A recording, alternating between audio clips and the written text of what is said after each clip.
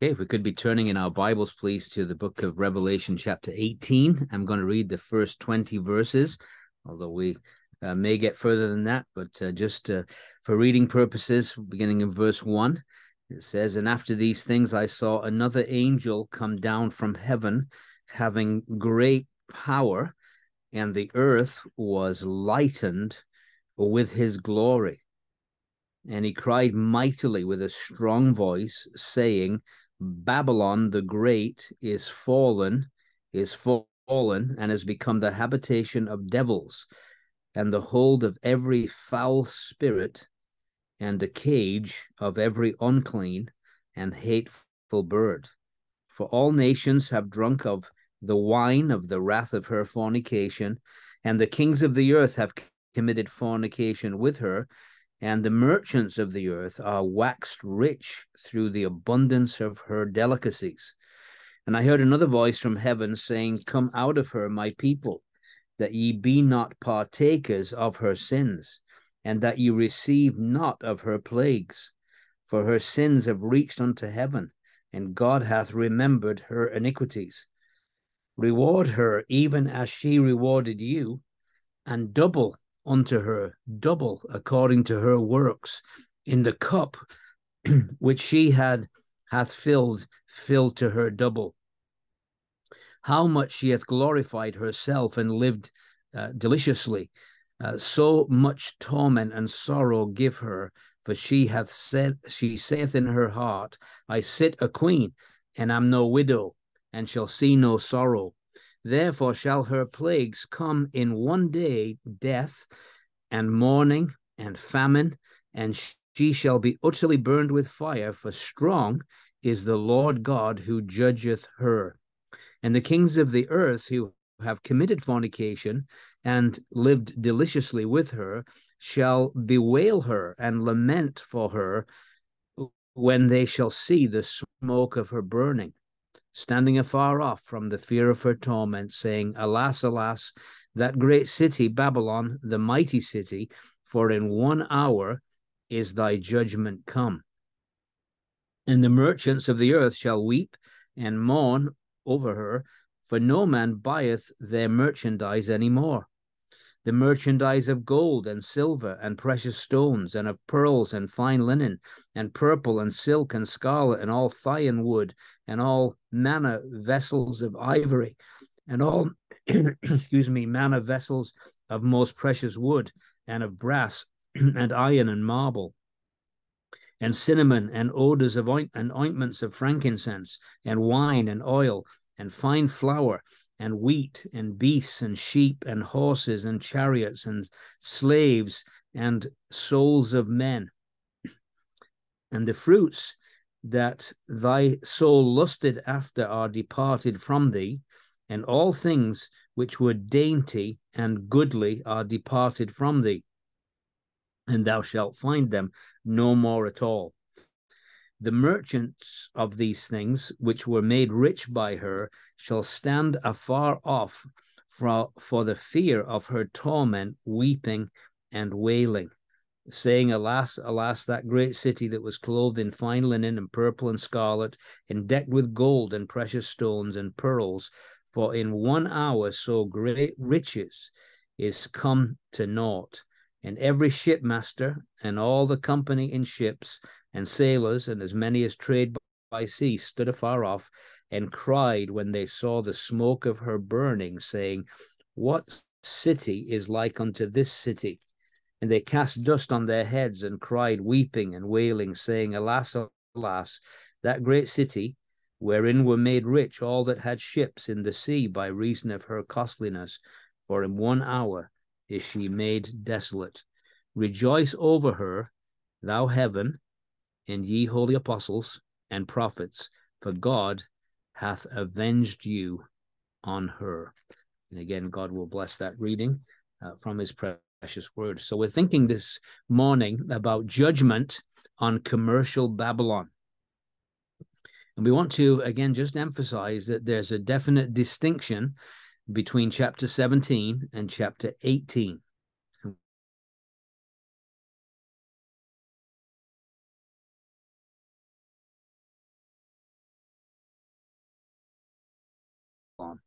And of course, the difference is we've said already that a lot of symbolic language in chapter 17. But when you get to chapter 18, there's nothing symbolic. It's all pretty straightforward. And so, for instance, we had chapter 17, the symbol was a harlot woman. Whereas in this chapter, it's always talking about a great city. We'll point that out in a moment. Uh, in chapter uh, 17, uh, we have language like the woman, the whore, the mother of harlots. Uh, whereas here we have language like habitation, great city. We have a marketplace. We have merchants and business. Uh, in uh, 17, you've got uh, guilty of religious abominations. Whereas in chapter 18, the guilt seems to be connected with greed and self indulgence. Chapter 17, uh, she uh, is destroyed, this woman, by political power, by these 10 kings that give their power to the beast for one hour. And in chapter 18, the destruction is by a sudden act of God. Strong is the Lord God that judges her. And so, quite clearly, there's distinction. And of course, the uh, the judgment uh, that comes from God is an earthquake, which is also additionally hail and then fire that results from all of this. And so it's quite clearly a divine judgment on Babylon commercial. So we saw in chapter 17 that the beast had no use for religious Babylon once he had used her to bring himself to power. And uh, she was destroyed. We, we saw that in chapter 17, verse 16 and 17. It says, The ten horns which thou sawest upon the beast, uh, these shall hate the whore, and shall make her desolate and naked, and shall eat her flesh and burn her with fire. For God hath put in their hearts to fulfill his will, and to agree and give their kingdom unto the beast. The words of God shall be fulfilled. However, when it comes to commercial Babylon, we're going to see that he does have a use for commercial Babylon. And the beast is going to use it because, first of all, just think of it when the religious Babylon is destroyed, think of the tremendous wealth that is linked with apostate religion. You think of Roman Catholicism, uh, always crying the poor mouth, uh, and yet the Vatican is stuffed with priceless treasures. And of course, all of that will be taken into the beast coffers. Uh, we think the Church of England, its palaces and real estate in central London, owning vast swathes of central London. Again, all that would come under the beast's power.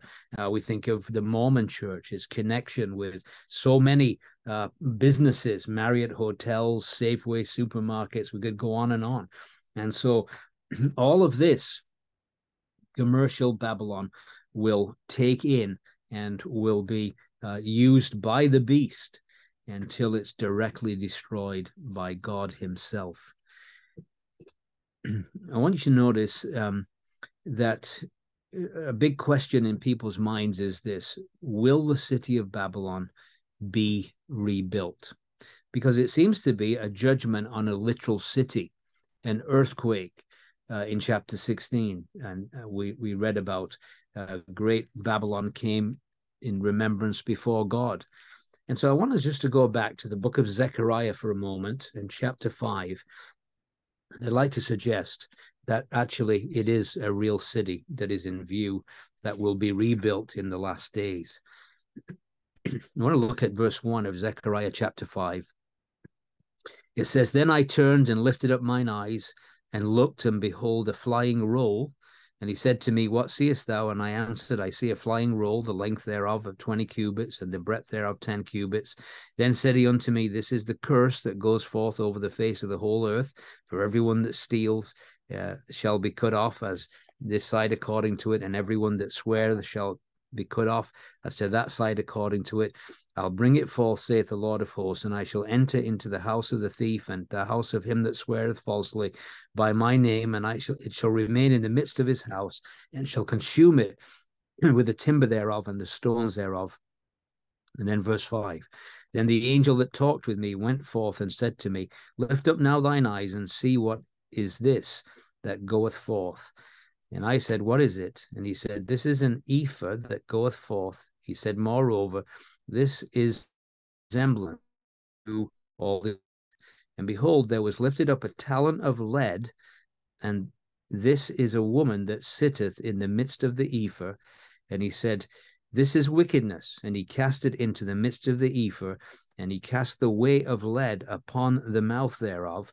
Then lifted I up mine eyes and looked, and behold, there came up two women, and the wind was in their wings, for they had wings like the wings of a stork, and they lifted up the ephah between the earth and the heaven. Then said I to the angel that talked with me, Whither do these bear the ephah? And he said to me, To build an house in the land of Shinar, and it shall be established and set there upon her own base. And so it's a picture of commercialism. When Israel came out of Babylon, what they learned in Babylon, they learned to detest idolatry. They're done with idols, but they also learned about commercial Babylon. They learned about commercialism and they brought it with them into the land of Israel. And of course, we know Israel, very industrious, very business savvy type people. But in the last days, God is going to take it back to the land of Shinar and rebuild it. This commercial center will be rebuilt in the last days. He said to me, To build an house in the land of Shinar, it shall be established and set there upon her base. And so there seems to be strong evidence that Babylon will be a literal city that will be rebuilt in the last days in the land of Shinar. Of course, this was previously attempted by Saddam Hussein, uh, but unsuccessfully. He actually saw himself as Nebuchadnezzar reincarnated, and he tried to rebuild Babylon with all its glory, but as we know, failed miserably. I want you to notice in chapter 18 just how the phrase great city is used uh, in this chapter because it really is emphasizing a great city. And so if you look at uh, verse 10 of chapter 18, it says, standing afar off for the fear of her torment, saying, Alas, alas, that great city, Babylon, the mighty city. So clearly it's talking about a literal city. Uh, verse 16, and saying, Alas, alas, that great city that was clothed in fine linen, purple and scarlet. Uh, verse 19, they cast dust on their heads and cried, weeping and wailing, saying, Alas, alas, that great city wherein were made rich all that had ships. And then, um, yeah, so verse 21 and a mighty angel took up a stone like a great millstone, cast it to the sea, saying, Thus with violence shall that great city, Babylon, be thrown down. And so, this constant reference to this great city. I want you to notice too the emphasis on in this chapter on merchants and merchandise. And so notice, please, with me, verse 3.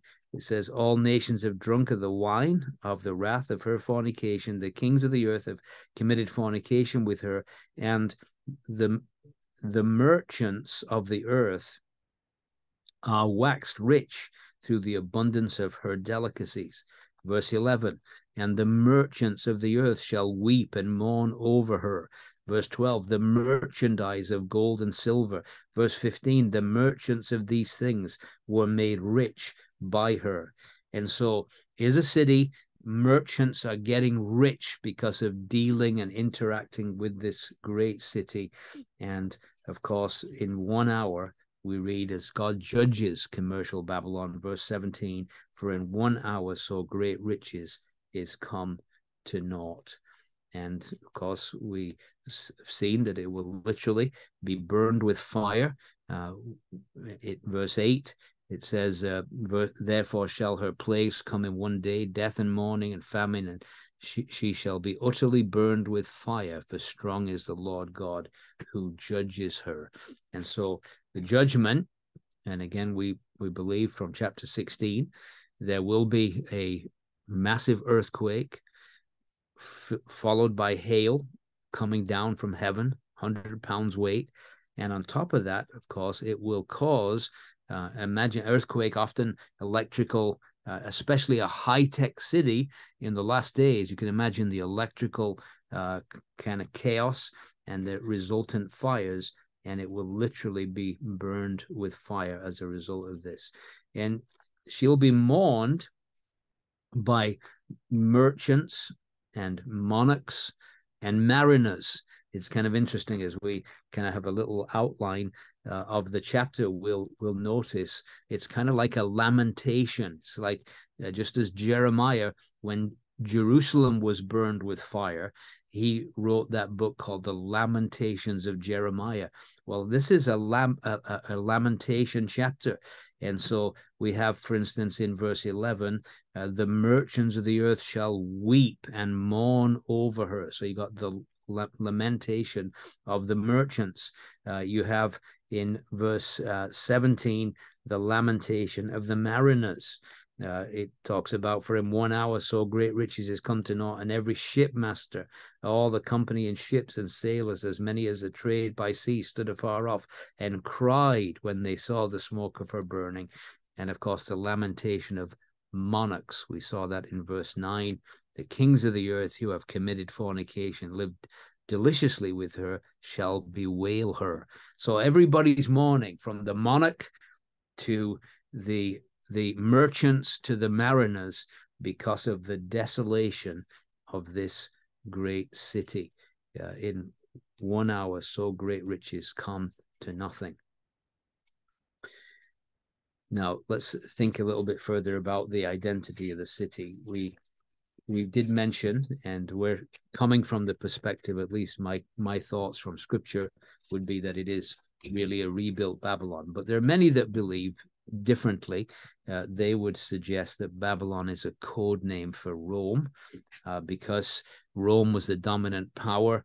Uh, so instead of writing Rome, uh, that John uh, wrote uh, Babylon as kind of a code.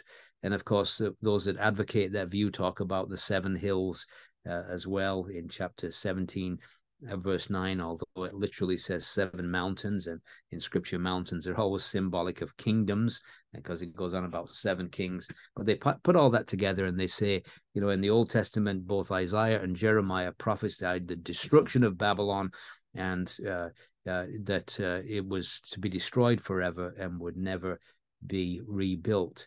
But it's interesting that uh, Babylon continued to exist long after the uh, the defeat by the Medo-Persian Empire, and uh, it's uh, continued to exist uh, even to the present day. There's uh, the site of ancient Babylon is is now just a village, but it's continued to exist since then. And so clearly, the the dramatic uh, destruction that was spoken of back in Isaiah, Jeremiah, has not been fulfilled fully yet but it will be. And, and so, again, it would be a conviction that it will be rebuilt as the commercial capital of the beast empire, a literal place. And uh, so uh, that's that's the conviction. Uh, now let's let's jump into the passage, and I'm just going to give you a, a, little bit of an outline of the passage in verses one through three. There's a cry announcing judgment, and we want to look at this great cry announcing the judgment on commercial Babylon. And then in verses four through eight, there's a call for any of the Lord's people that are in it to escape judgment. So a call to escape judgment. And then from verse 9 to 20, we see the classes that bewail judgment. And so we've got this, this lamentation of these various classes that we've considered. And then in verse 21 through 24, we have the completeness of the judgment. So, really, all about judgment, but it begins with this cry announcing judgment. And we notice it says in verse 1 After these things, I saw another angel uh, come down from heaven having great power, and the earth was lightened with his glory or illuminated with his glory. So the the angel coming down from heaven is so fresh from God's presence that he literally glows. The the the uh, the literally the presence of God that he's come from is reflected on his countenance. Uh, recently come from the presence of God, uh, that he he shows a broad belt of light across the darkness of the earth. And remember how dark the earth is at this particular moment. Some have suggested that maybe this is christ and we've we've kind of argued against that throughout our exposition of this book because uh, again it seems to me that since he took on incarnation uh, the lord jesus never appears as the angel of the lord after that uh, he's taken a body. He's a man in the glory. He'll always be that way. And so, and of course, another reason why we would dispute that it's Christ, because the use of the word here, I saw another angel. The word another is another of the same kind, another like the one that we saw in chapter 17 and, and verse verse 1 there came one of the seven angels which had the seven vials and talked with me. And so it's another of the same kind and so uh, it would seem to me that it's not the Lord Jesus, but it's an angel fresh from the presence of God. Now, of course, he's a mighty angel. Of that, there is no doubt. Another angel come down from heaven having great power, great authority, authority from the throne. That's where he's come from as a representative and a messenger from the divine throne. He has great authority. The earth is lightened with his glory. And so he comes, this angel, and again, it, it would seem to me another evidence that there's a distinction between chapter 17 religious babylon chapter 18 commercial babylon. Because why send another angel if it's the same story all the way through? Why is it necessary to send another angel? But it's necessary to send another angel because again the judgment is different than we saw on religious Babylon or mystery Babylon in chapter 17. Now, verse 2 is a very interesting verse. It says, He cried mightily with a strong voice, saying, Babylon the Great is fallen, is fallen. And then it has become the habitation of devils, the hold of every foul spirit, and a cage of every unclean and hateful bird. So, first of all, Babylon the Great is fallen, is fallen. He announces this with repetition, and it's kind of like a solemn dirge of the damned. It's fallen, it's fallen. This kind of, again, this idea of lamentation, this idea of solemn dirge, it's fallen, it's fallen. And then it uses this term, it has become the habitation and then the hold. Now, a hold is a prison. And so this is very interesting, at least to, to my mind. It would seem that it denotes a prison where lesser demons, habitation of devils, and then every foul spirit. So again, demonic creatures and a cage of every unclean and hateful bird. Now, I just wonder if this idea of unclean and hateful bird it goes back to Matthew's Gospel, chapter 13. I'd like us to just look there for a second, where we read in verse 31 and 32.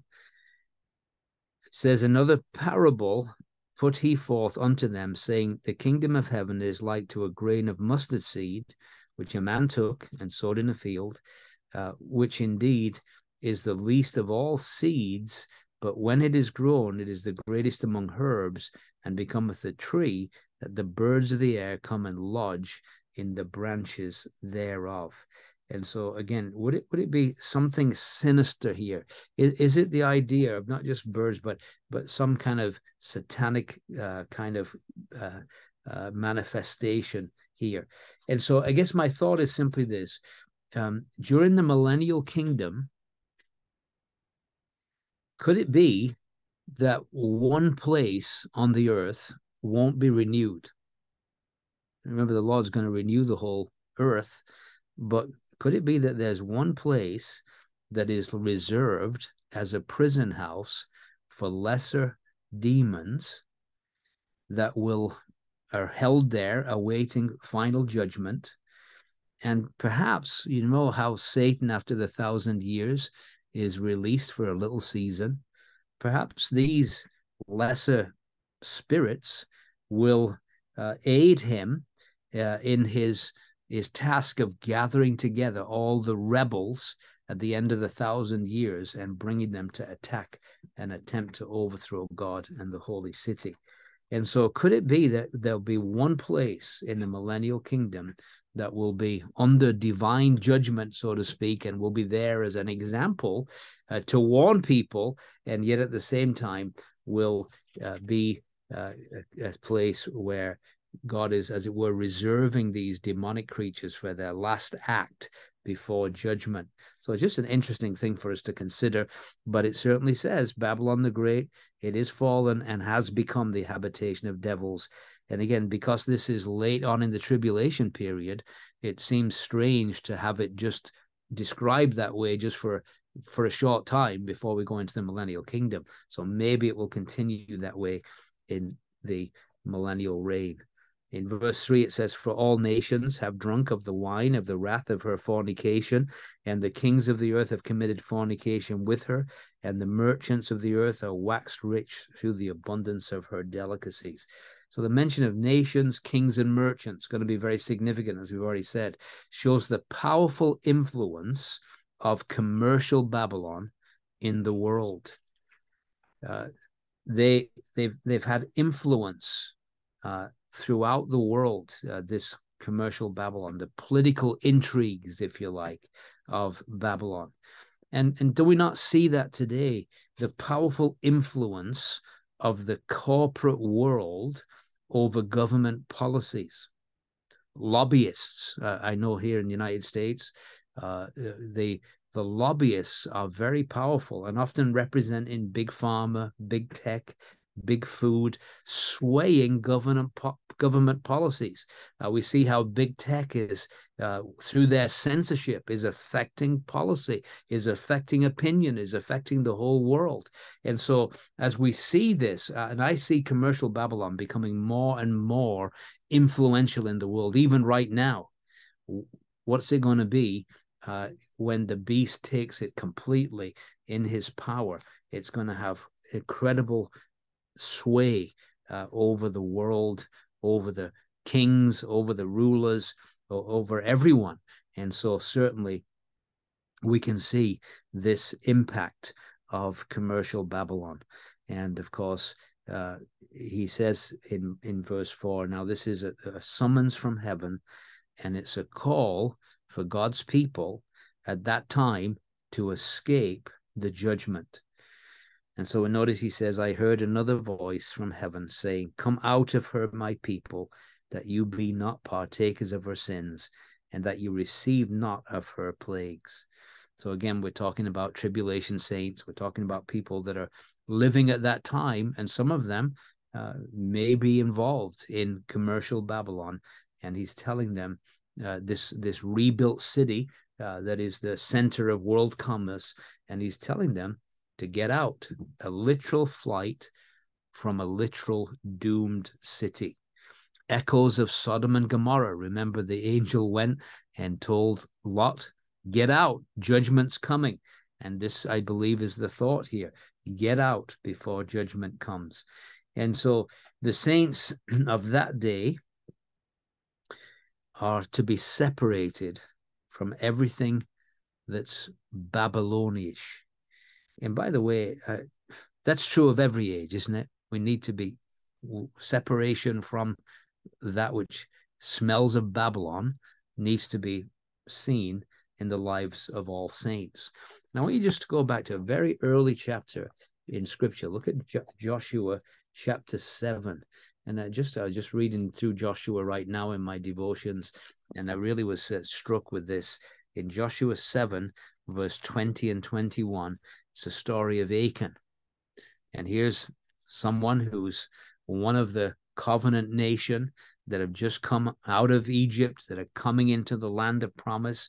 Uh, and it says in verse 20 Achan answered Joshua and said, Indeed, I have sinned against the Lord God of Israel, and thus and thus have I done.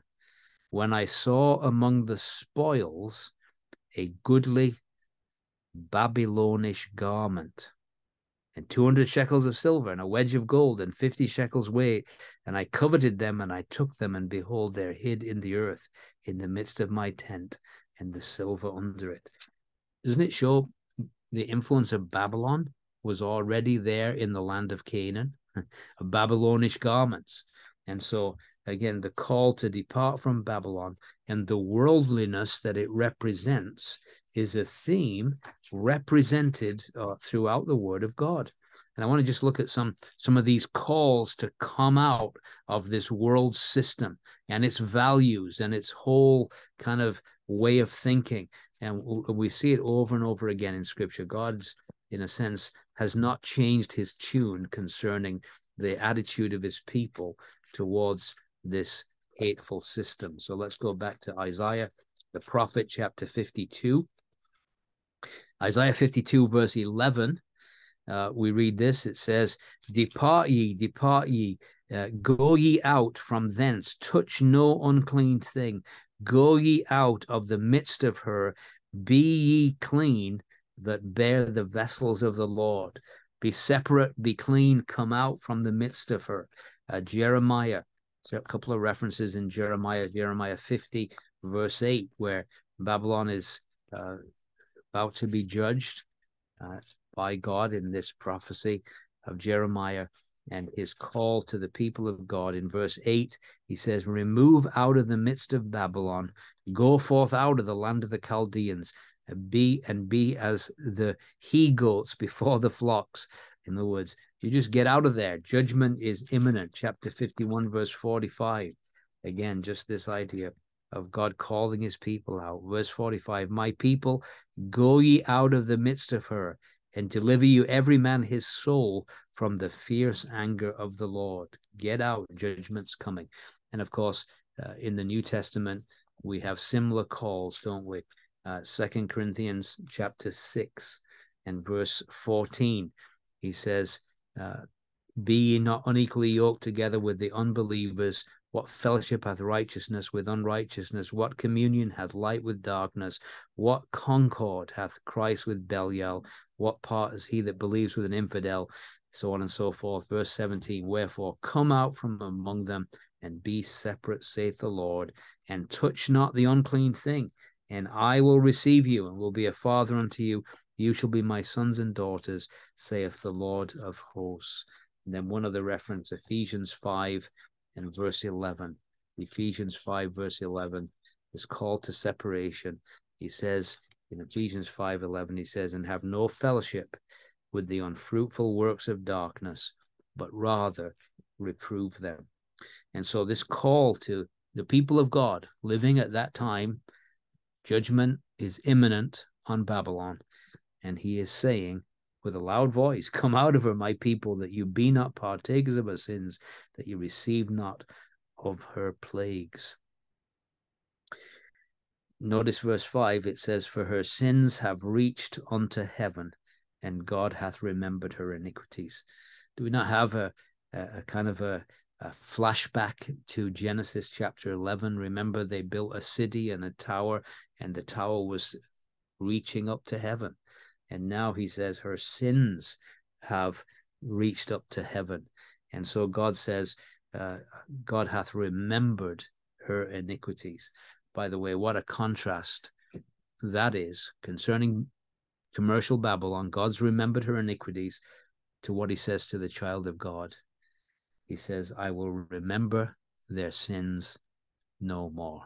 Their sins and iniquities. I, the new covenant teaching right? That uh, that God has said to the child of God, I remember no more your sins and iniquities. And of course, as we take the cup, we're caused to remember that, right? That, that, that this is the new covenant in my blood.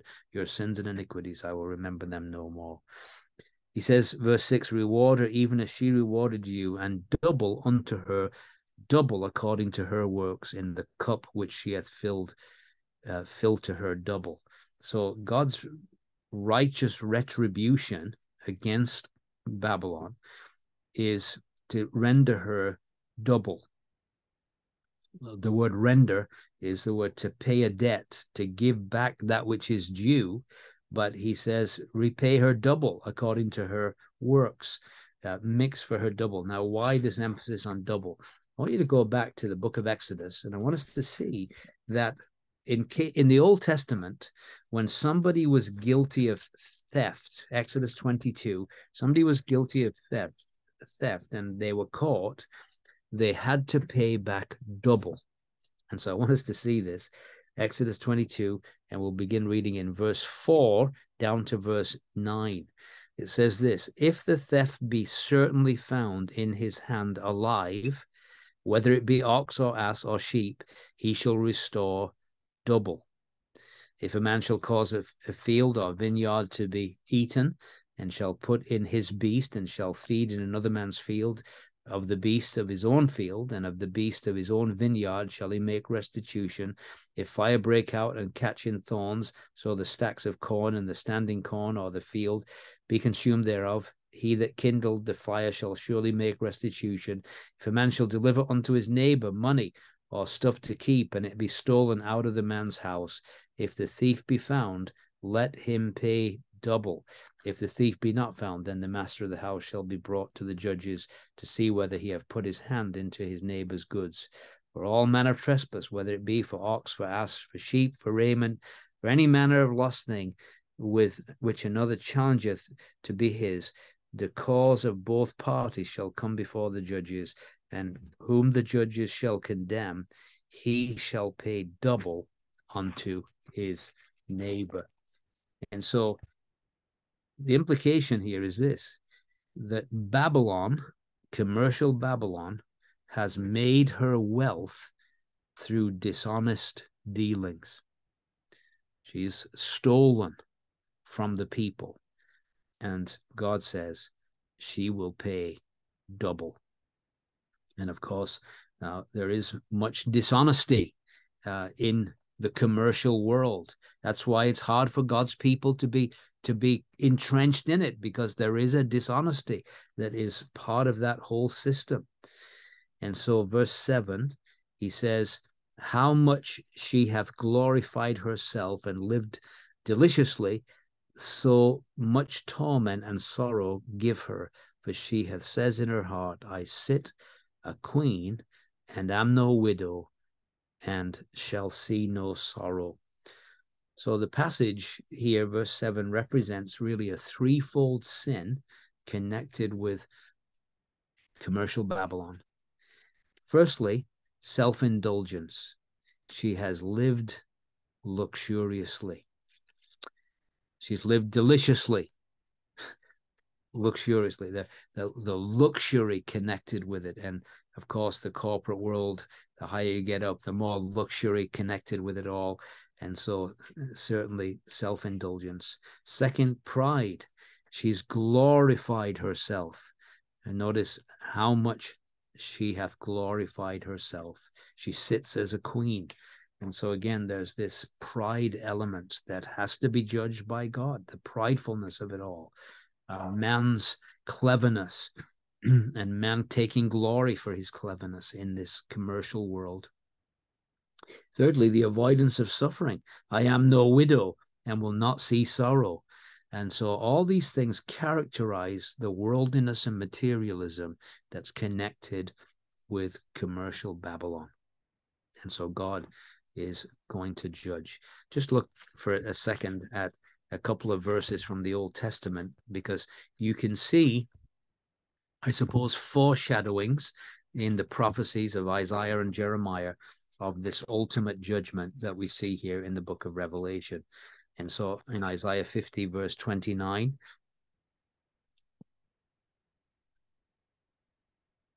no, sorry, Jeremiah 50, Jeremiah 50, verse 29. And then we look at a verse in Isaiah, Jeremiah 50, verse 29. It says, Call together the archers against Babylon, all ye that bend the bow, camp against it round about, let none thereof escape. Recompense her according to her work, according to all that she hath done. Do unto her, for she hath been proud against the Lord, against the Holy One of Israel. And just as we saw uh, here in Revelation 18 about uh, the pridefulness uh, of of her, uh, that uh, she uh, how she glorified herself. And so we have that foreshadowing in Isaiah 47 and verse 8. Isaiah 47, verse 8. Therefore, hear now this, thou that art given to pleasures, that dwellest carelessly, that sayest in thine heart, I am, I am, and none else beside me. I shall not sit as a widow, neither shall I know the loss of children. And so again, we just see this echo, don't we, from the Old Testament. And so as a result of this, he says in verse 8, he says, Therefore shall her plagues come in one day, death and mourning and famine, and she shall be utterly burned with fire, for strong is the Lord God who judgeth her. She is sown to the wind, she shall reap the whirlwind. Uh, notice the reference to plagues. Uh, remember that the seven last plagues were given to us in chapter 16 of the book of Revelation. Once Babylon burned Jerusalem, the subject of the lamentations of Jeremiah, now Babylon burns and the world laments. Earth's might crumbles before heaven's power. Strong is the Lord God who judgeth her. and it results in the sob of the earth. The judgment on commercial Babylon results in the sob of the earth. And so we've got this these lamentations now of monarchs, of mariners, and of merchants and so we want to just kind of quickly look at these these lamentations uh, because this destruction is, is, obviously economically devastating. And so uh, it begins with this lamentation of the monarchs. And so it says, The kings of the earth who have committed fornication and lived deliciously with her shall bewail her and lament for her when they shall see the smoke of her burning. Now, if you remember that in chapter 17, the kings of the earth, particularly 10 of them that ruled with the man of sin for, for one hour, they did not lament at the destruction of religious Babylon. In fact, uh, they hated religious Babylon and they were happy to be to, to be God's instruments of judging her and so we we, we observed that in chapter 17, uh, where we said, verse 16, the ten horns which thou sawest upon the beast, these shall hate the whore, shall make her desolate and naked, shall eat her flesh, burn her with fire. God hath put it in their hearts to fulfill his will and to agree to give their kingdom to the beast until the words of God shall be fulfilled. So there's absolutely no lamentation of the kings when religious Babylon is destroyed, they're glad to see the back of her. But when commercial Babylon is destroyed, the kings mourn. Great lamentation because again their wealth, their their decadence has come because of their trading with commercial Babylon. And so the lamentation of monarchs, and then the lamentation of merchants. The merchants of the earth shall weep and mourn over her, for no man buyeth their merchandise any more. So it would seem that this capital of the beast was, as it were, the economic engine of the world.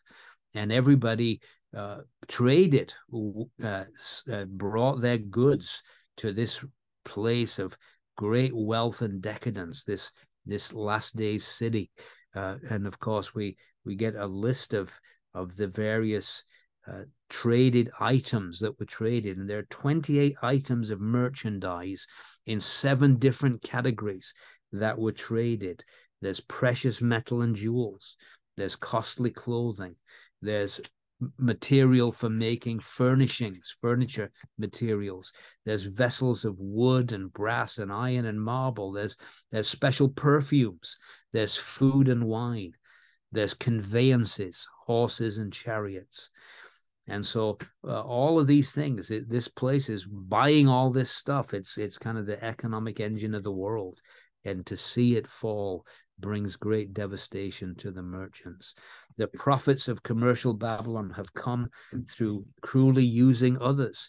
Uh, I want you to notice that it, it talks uh, tragically uh, of uh, verse 13 it says uh, they traded in cinnamon and odors and ointments and frankincense. There's the perfumes, wine and oil, fine flour and wheat, and beasts and sheep and horses. And notice this chariots, there's the conveyances, and slaves and souls of men. One of the things that this evil system has been involved in is slavery and trading in the souls of men. We might say today human trafficking. Part of commercial Babylon's uh, enterprise includes human trafficking, prostitution, pornography, all of this kind of stuff, and people being used, brought into slavery uh, to be used for commercial purposes. Uh, other aspect of slavery is the sweatshops in poorer nations, where people literally are slaving uh, to to supply the latest bling and whims of commercial Babylon. And so all of this comes to remembrance before God. All this brings about divine judgment because of the the cruelty uh, and the wickedness uh, of the commercial Babylon system. I want you to notice too that there's a there's a great emphasis on the phrase "no more" uh, in these remaining chapter uh, verses, and so it says, uh, verse fourteen: "The fruits that thy soul lusted after are departed from thee, and all things which were dainty and goodly are departed from thee, and thou shalt find them no more at all. Uh, we see later on, uh, again, verse 21, uh, it says, Mighty angel took up a stone like a great millstone, cast it to the sea, saying, Thus with violence shall the great city Babylon be thrown down, and shall be found no more at all. Verse 22 the voice of harpers and musicians and of pipers and trumpeters shall be heard no more at all in thee uh, again the end of the verse 22 it says here uh, the sound of a millstone shall be heard no more at all in thee. Verse 23 The light of a candle shall shine no more at all in thee. Uh, the voice of the bridegroom and of the bride shall be heard no more at all in thee. For all thy merchants and thy great men of the earth, for by their sorceries were all nations deceived. And so her days of delicacies and luxuries are over, brought to an end. And so there's great lamentation over the merchants, the monarchs, and now the mariners. And you got a feel for the mariners in these last days here. Uh, n- notice the reference to them, uh, this this lamentation of the mariners. Um, it says in verse 17, For in one hour uh, so great riches is come to naught, and every shipmaster and all the company and ships and sailors and as many as trade by sea stood afar off and cried when they saw the smoke of her burning. And so uh, you, you think of what the last seven years of human uh, history before the coming of the Lord Jesus is going to be like for those involved in the shipping industry. We've already seen back in Revelation 8 and verse 3. Revelation 8, verse 3. We saw another angel came and stood the altar having a golden incense. And there was given her much insight That's not the person I'm looking for. Um,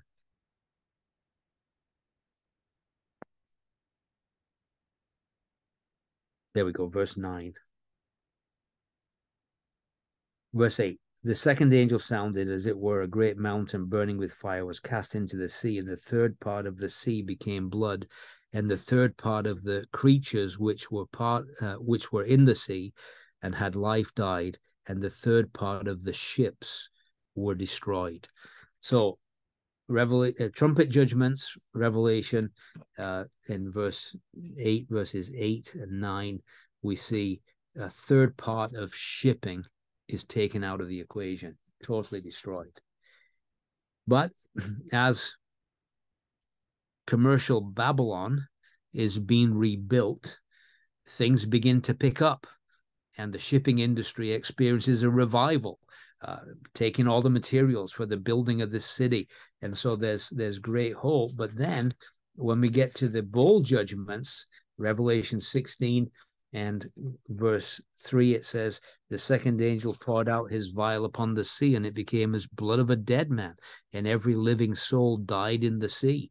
So, at least at this point, we could say the fishing industry and all the, the commercial fishing fleets are going to be done away with because because there's every living soul dies in the sea so there's no there's no fish and so you've gone from the, the devastation of a third of it lost, third of all shipping. Now all the fishing fleets are are redundant. They're all uh, stuck. There's no there's no fish to to catch. And then finally, just as again, there the maybe some measure of recovery because of commercial Babylon, and now commercial Babylon is destroyed, and the mariners stand afar off, and they are utterly devastated at the loss. Because again their livelihood is at stake. They, they've become wealthy as a result of this trading and bringing the wealth to this uh, to this beast capital economic engine and so it says uh, for in one hour verse 17 so great riches is come to naught every shipmaster all the company and ships sailors many as trade by sea stood afar off cried as they saw the smoke of the burning what city is like unto this great city, they say. And they cast dust on their heads and cried, weeping and wailing, saying, Alas, alas, the great city wherein were made rich all that had ships in the sea by reason of her costliness. For in one hour she is made desolate. And yet we're told, Rejoice over her, thou heaven, and you holy apostles and prophets for God hath avenged you on her. And you say, well, how has commercial Babylon had any impact on apostles and prophets that God would judge you on her? And again, we have to say that increasingly um, in our day, the um, spread of the gospel, commercial Babylon is seeking to to now censor and prevent this taking place. Uh, the preaching of the gospel. I just heard this week of a man trying to come into to Canada, and he had to sign a document to say that if he came in to speak, he would not be allowed to speak on certain subjects, and if he refused to sign, he would be turned back at the border. Interesting. Uh, again, uh, you see the the various social media outlets, uh, any anything that's contrary to commercial Babylon's uh, agenda is is basically silenced, uh, and and you can see uh, medical doctors that don't accept the prevailing opinion of the World Health Organization, their accounts on the internet are shut down. Uh, it's just incredible. So so we could say that that in a very real way, and especially in the last days, commercial Babylon will do everything within its power to restrict the spread of the message of the gospel. And so we can expect it. If the day is coming, we'll be deplatformed. Maybe these messages, who knows, the day may come when YouTube will not allow it anymore and these days are coming. And so the Lord's people will rejoice over the destruction of commercial Babylon because of its sinister influence throughout the world. And so, uh, our final section, verse 21 through 24, is the symbolized doom of Babylon. And it kind of shows us the completeness of the judgment. And notice it says, and a mighty angel took up a stone like a great millstone, cast it into the sea, saying, Thus with violence shall the great city Babylon be thrown down, and shall be found no more at all. A mighty angel took a stone like a great millstone, threw it into the sea. Again, reminiscent of Jeremiah's instructions uh, to Seraiah to bind a stone to a text of Jeremiah and cast it into the Euphrates. Uh, Jeremiah 51 Thus shall Babylon sink and shall not rise from the evil that I will bring upon her, and they shall be weary. Uh, that's Jeremiah 51. But also, doesn't it remind us of the words of the Lord Jesus in Matthew's Gospel, chapter 18, where he said this in verse 6 Whoever causes one of these little ones who believe in me to sin, it would be better for him if a millstone were hung around his neck and he was drowned in the depths of the sea you know, I think as I look at commercial Babylon as it manifests itself today, and I think of the sexualization of children. Whoever causes one of these little ones who believes in me to sin.